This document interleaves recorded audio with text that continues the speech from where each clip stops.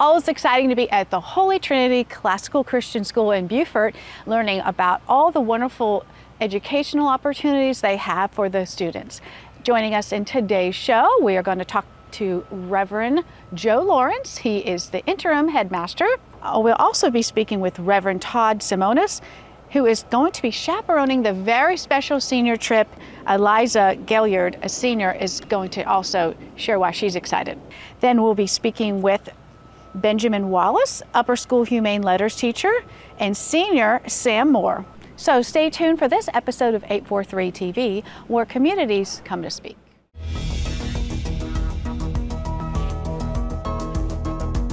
Eight four three TV, where the Low Country comes to speak.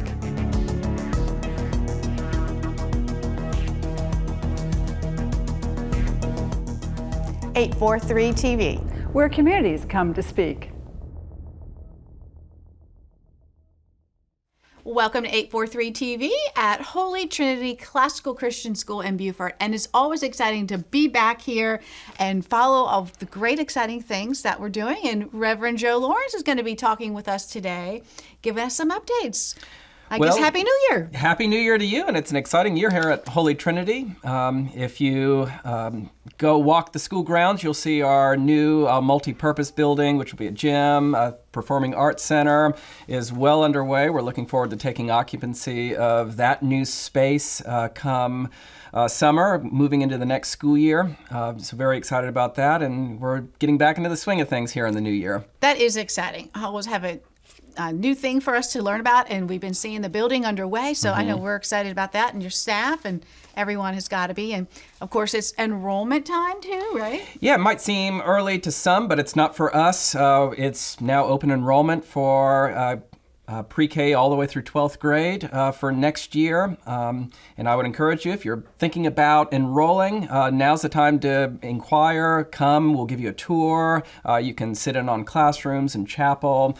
Uh, wonderful opportunity now to get to know the life of the school, uh, and classes fill up, so enroll now. Yeah, and I love how you give the parents an opportunity to get involved and see like a day schedule and before yeah, well, decision. parental so involvement great. is absolutely crucial to education yes. and it's indispensable to classical Christian education. So as much as we can get parents involved into the classroom, uh, participating in what their students are learning, uh, the better. Absolutely. So today we got uh, a special topic we're going to talk about. You've got a book, some um, course curriculum, and I'm going to let you start. It's about C.S. Lewis. Yes. Uh, well, um, what I'm interested in uh, developing over the next few years here at uh, Holy Trinity is not just education for children, although that's our primary task, of course, uh, but also open up the kinds of things that we're learning and teaching within the classroom uh, to the community, to parents, to grandparents, to people who are simply interested in the kinds of investigations into the truth and mm-hmm. learning that we do here,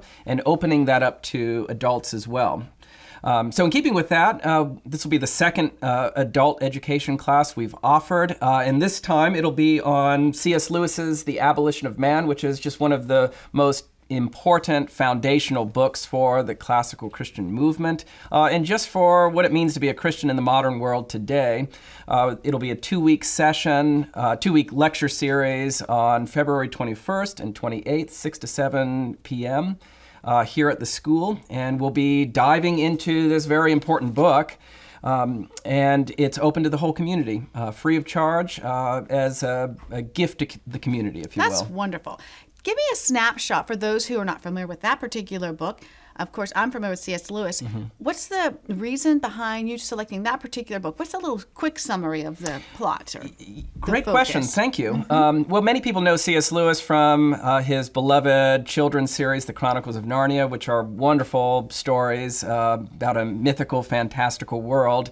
Um, C.S. Lewis actually was very interested in education and what happens within edu- within the educational scene. Um, and this book was prompted because C.S. Lewis, who was a professor at Oxford, was given a grammar textbook uh, to look into and approve, and maybe he could do a blurb on the back of the book like they do. And as he was looking into this book, he grew more and more concerned about what was being taught in schools. So, this was a grammar textbook to teach students how to write well. And what he encountered was a whole philosophy of relativism and the denial of the truth, um, and the sense that uh, all value judgments are just expressions of our own wishes and feelings.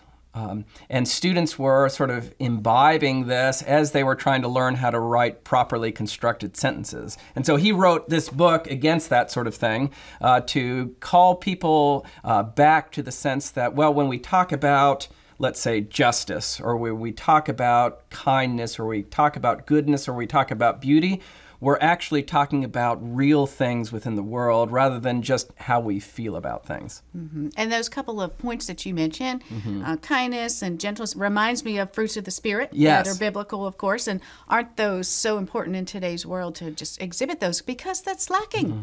Yes, yeah. without those kinds of values that we all truly believe in and think this is a real way to be human and to act and to treat one another. Without without that, uh, we tend to lose touch with our humanity. And so that's what the title is. If we uh, the abolition of man, if we uh, deny values such as justice and kindness and goodness and truth and beauty, uh, then what we're actually doing is we're abolishing humanity itself. Yeah, so we really need to instill in people that we need to practice those things in our everyday life. That's right. And that's yeah. really what we're about here at Holy Trinity, uh, which mm-hmm. is we are resisting this uh, abolition of man that we see going on in society and teaching our students what maybe even better than teaching, uh, we are helping students experience the truth of justice and goodness mm-hmm. and kindness and self-control and all of what as you said the fruit of the spirit yeah and by offering this to the adults in the mm-hmm. community that hopefully will sort of filter down into the people that they reach whether it's students or